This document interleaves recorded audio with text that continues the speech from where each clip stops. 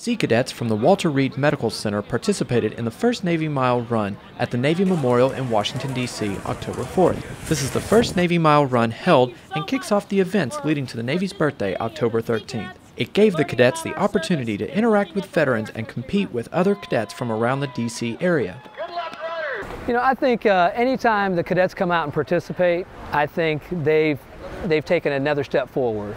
And today we had 26, 27 cadets participate.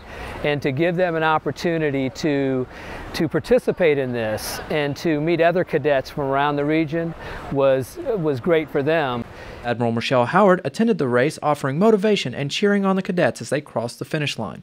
To learn more about the Navy Mile Run, visit their website or check out their Facebook page.